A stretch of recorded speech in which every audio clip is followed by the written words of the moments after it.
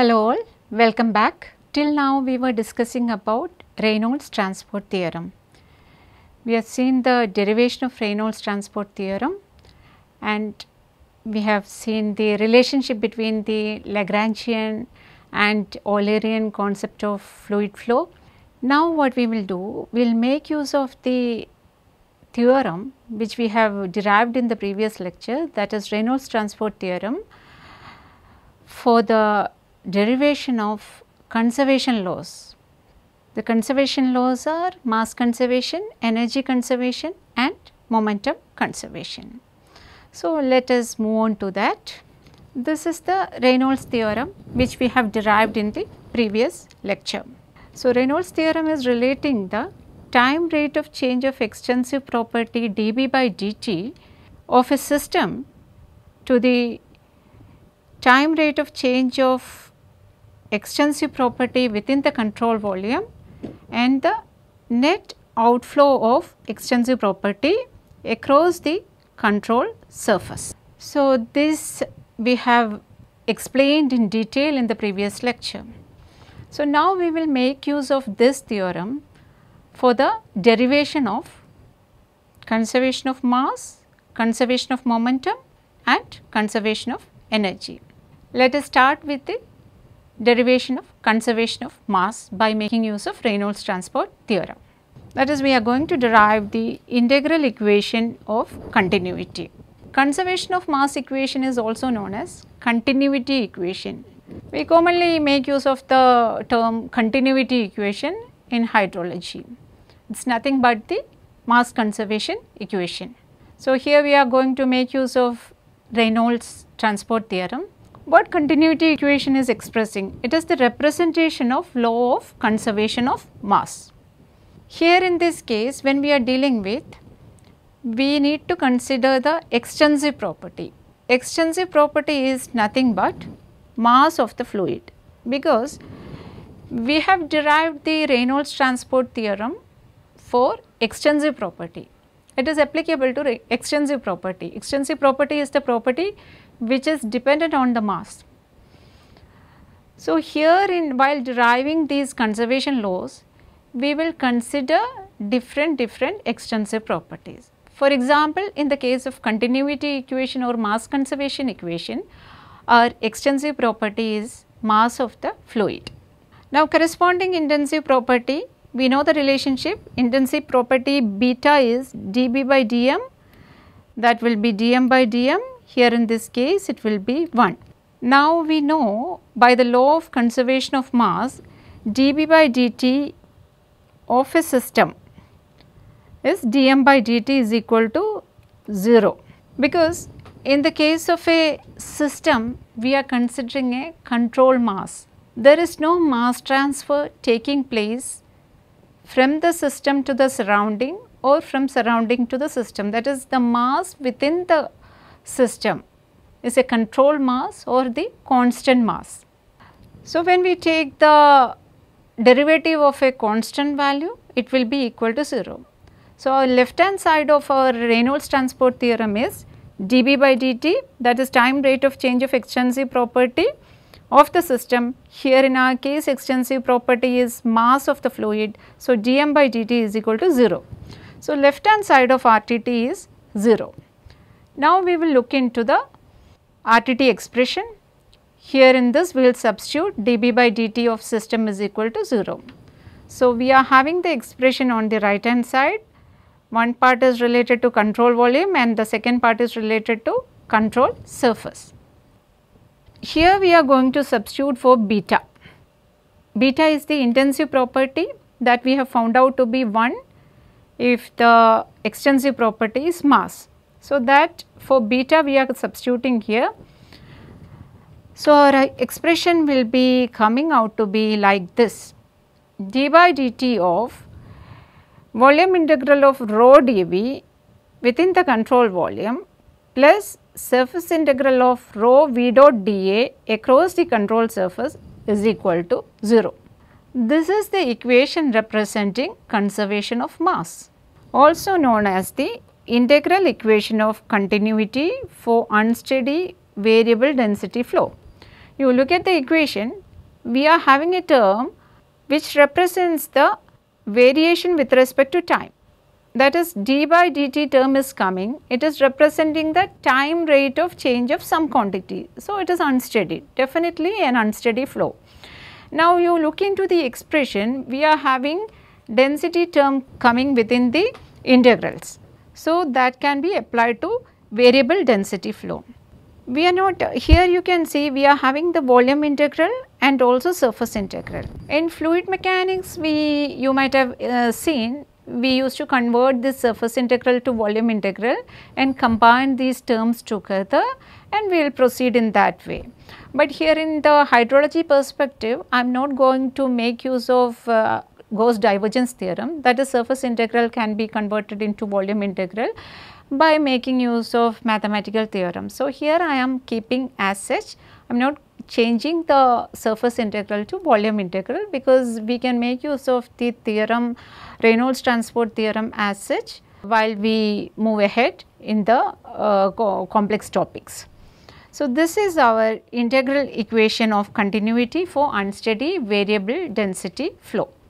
Now, if the flow is incompressible means there will not be any change in density that is we will be assuming rho as constant. I am not going deep into the incompressible flow concepts. So, here if density is constant we can take it out our out of the integral and our expression will be changing into this form. Now, the first term d by dt of volume integral of dv across the control volume.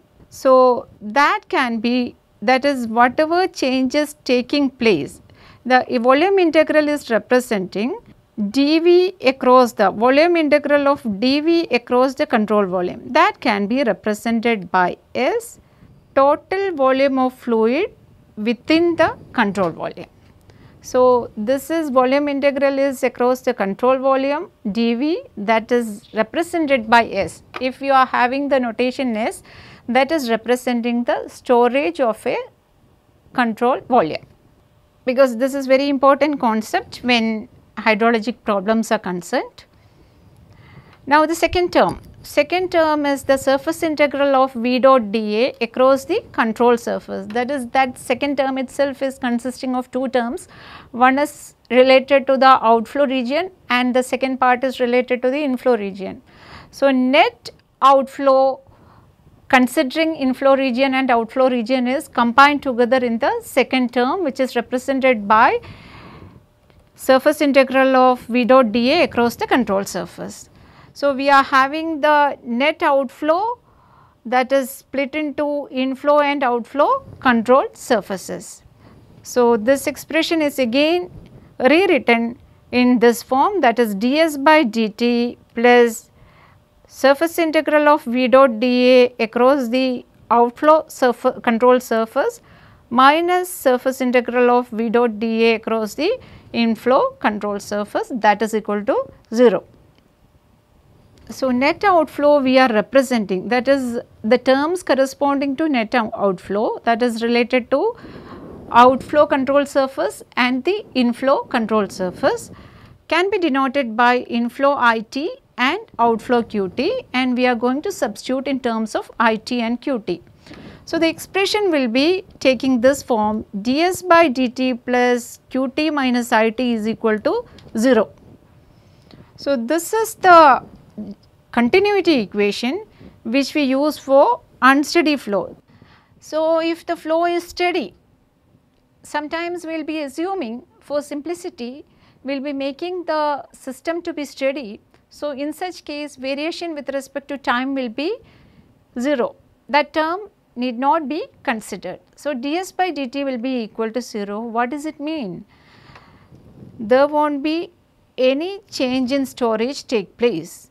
That means qt is equal ds by dt is equal to 0 which implies that qt is equal to it. inflow is equal to outflow. Whatever coming inside that is going out. So, there is no changes taking place in the case of storage. Otherwise, how changes takes place in the storage? That is, some amount is coming inside and some amount is leaving. So, both are different. So, that difference will be stored within the control volume, right. So, uh, that is why we are telling the mass can come inside and leave the control volume. There is changes taking place in the case of mass with respect to control volume. It is not the same with the system. In the case of system, the mass is constant. So, here in this case, in the case of steady flow, there is no change in storage taking place. That means ds by dt is equal to 0 implies that q of t is equal to i of t that is outflow is equal to inflow. So, that much about the conservation of mass or the continuity equation. Now, we can make use of Reynolds transport theorem for deriving the equation corresponding to conservation of momentum. So, I am again repeating the equation corresponding to Reynolds transport theorem and now we need to have an idea about the extensive and intensive properties in the case of momentum. So, when Reynolds transport theorem is applied to fluid momentum, our extensive property B is mv that is momentum of fluid flow. Now, we know the relationship between B and beta intensive property. Intensive property is nothing but dB by dm that is dmv by dm it is equal to velocity of fluid flow. Now, what we will do? We will substitute in the Reynolds transport theorem. So, from Newton's law we know that time rate of change of momentum is nothing but the net force acting on the system. So, that is what is coming on the left hand side of RTT that is dB by dt of system here in our case B is the momentum and when time rate of change of momentum is considered based on Lagrangian principle or control mass principle, we know it is nothing but it is the net force acting on the system. So, corresponding to this term on the left hand side dB by dt for system we can substitute net force. So, that is what is written over here. New, Newton's second law is the time rate of change of momentum is equal to net force applied in that direction. So, dB by dt is dmv by dt is equal to sigma f. Net force we are representing by the notation sigma f. That can be substituted in RTT so, our equation will be sigma f is equal to d by dt of volume integral of beta rho dv across the control volume plus surface integral of beta rho v dot dA across the control surface. Now, for beta we are going to substitute, we have computed the corresponding value of extensive property for momentum that is V. So, beta we are substituting as V. So, our expression is taking this form. First term is time rate of change of volume integral of V rho dV across the control volume and second term is V rho V dot dA across the control surface. This is our integral form of momentum equation. So, when we apply it to fluid flow problems, we will be finding out the corresponding expressions for sigma f. Different types of forces will be there, body force, surface force, point force. That way depending on the problem, what are the forces existing, forces which are contributing to a particular type of flow that we will be computing and that we will be substituting here in the left hand side. So, while deriving the Navier-Stokes equation you might have seen in fluid mechanics, but depending on our problem we will be considering different forces in the case of hydrology that we will be substituting. But as of now I am keeping this expression like this only whenever required we will substitute the required components in the particular equation.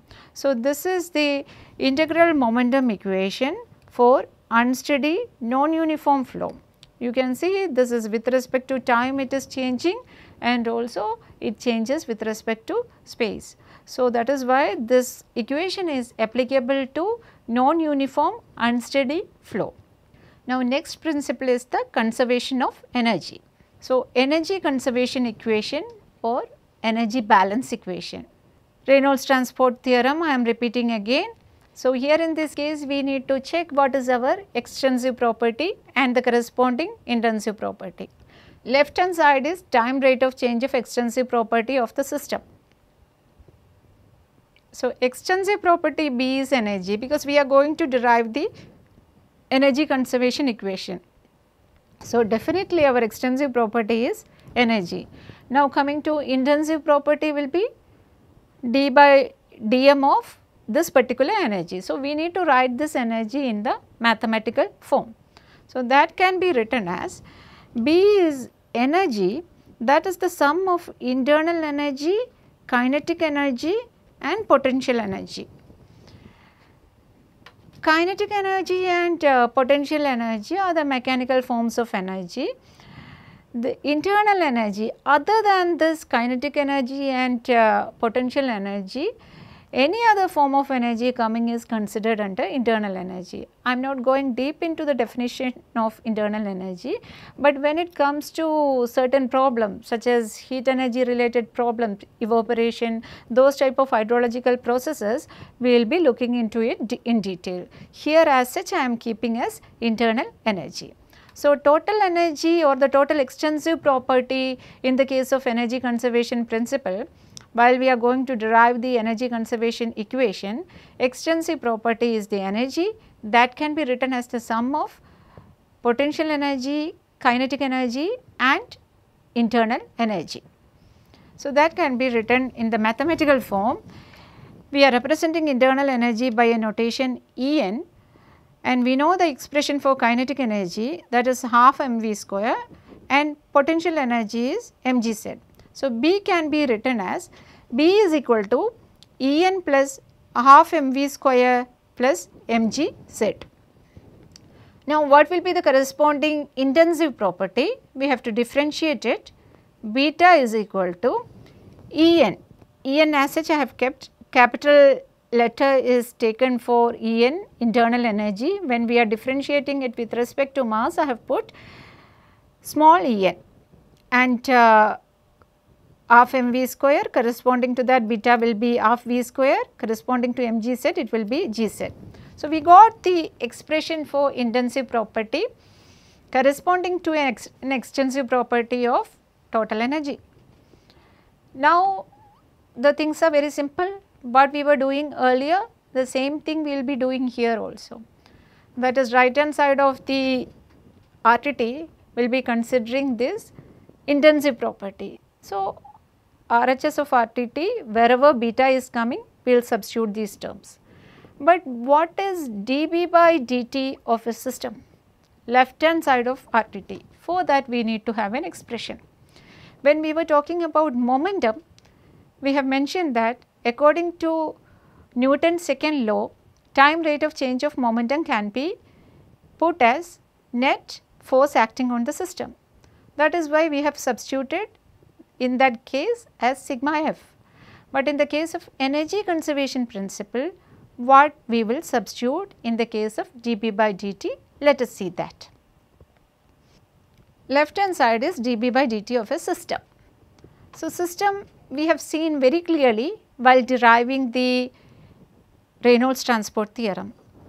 Let us consider a system. I am just drawing a simple system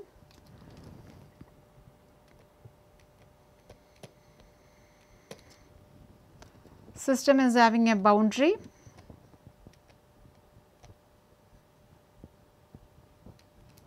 and surroundings uh, that is near to the system boundary. What is the area present that we will be calling as surroundings. As far as a system is concerned, it is a control mass which is having a constant mass there is no transfer of mass taking place across the boundary in the case of a system.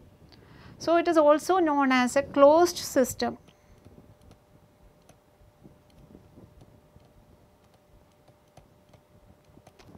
So, certain terms synonymously used closed system, simply system or control mass.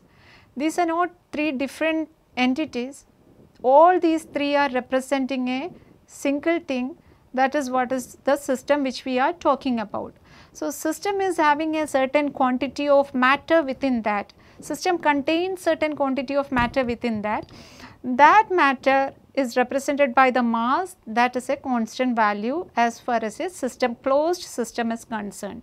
There is no transfer of mass taking place across the boundary in the case of a system, but that is not the case with the control volume. Control volume there is a transfer of mass taking place, it is not having the constant mass. But as far as energy is concerned in the case of a system and also control volume, there is a transfer, transfer of energy taking place from the system to the surrounding and from surrounding to the system. So, that we have studied when we were dealing with the first law of thermodynamics.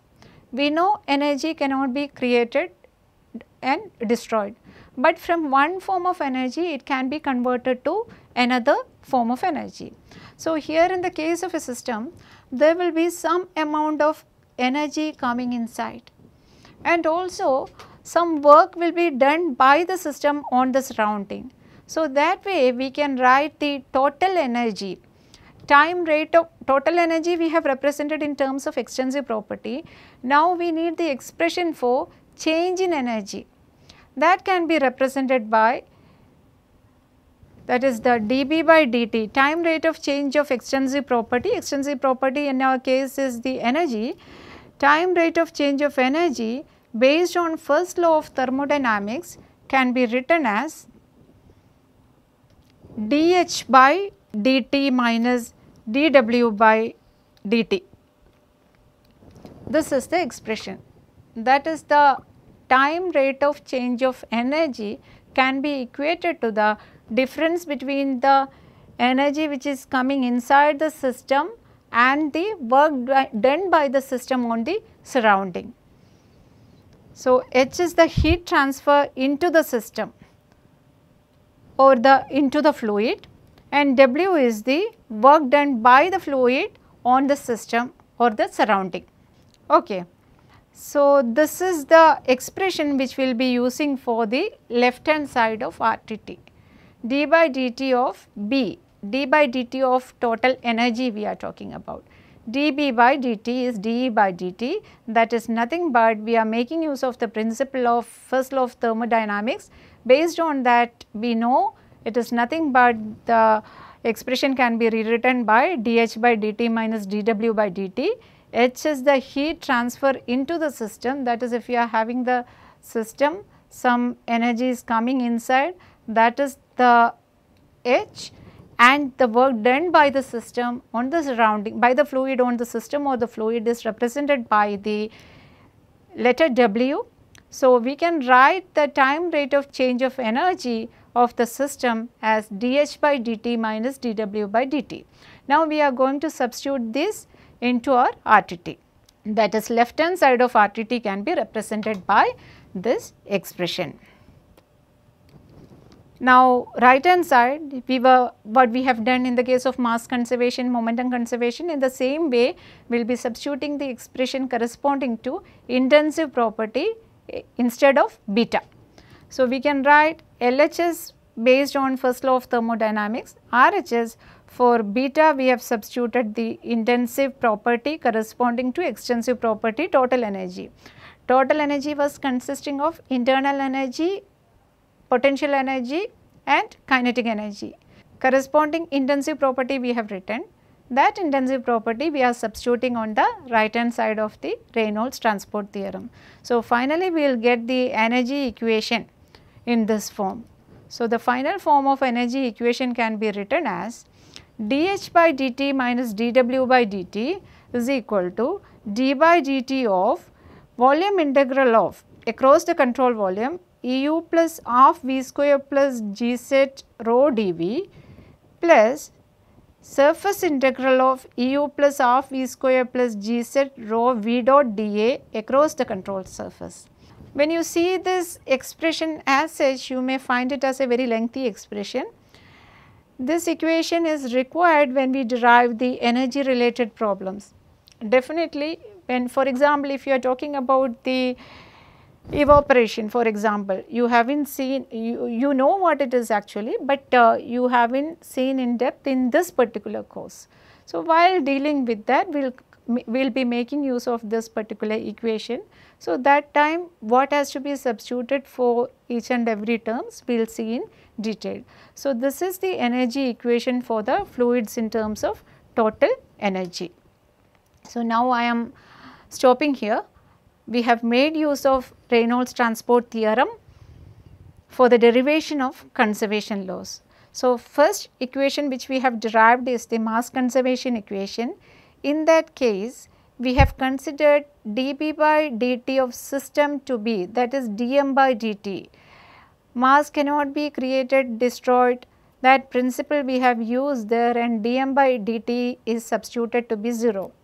So, that principle you should understand we have assumed the system.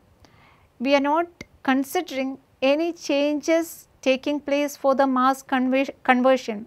There are certain problems in which mass will be converted to other form. That is in the case of uh, water converting to vapor. So, the total mass of the liquid is some part is converted to vapor. So, in that case dm by dt cannot be considered as 0. So, there are certain problems when the uh, phase change is taking place, some problems related to chemical reactions, nuclear reactions.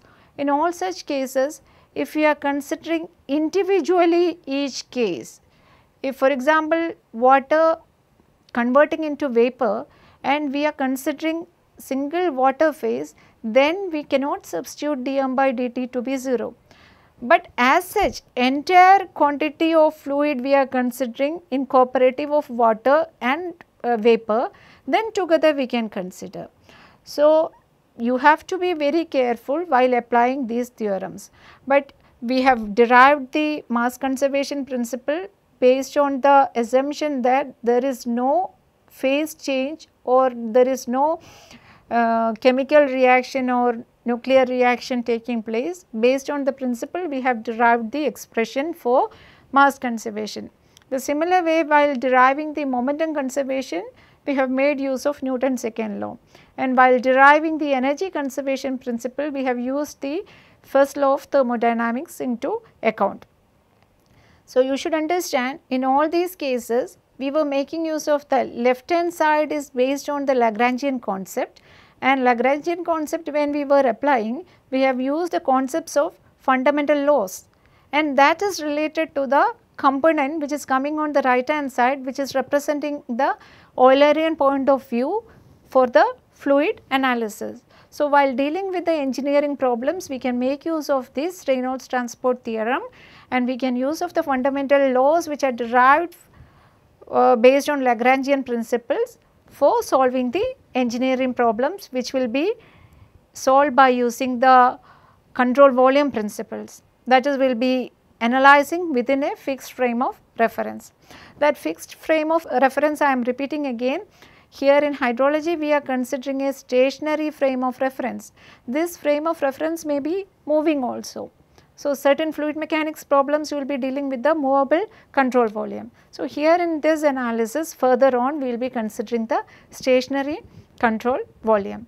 So, that much about the Reynolds transport theorem and the application of that Reynolds transport theorem for the derivation of the conservation principles. So, here I am stopping now. Some of the references which will be used for the derivation of these conservation laws are given here. Same set of references which I have given while explaining the course contents. Thank you very much. Have a nice day.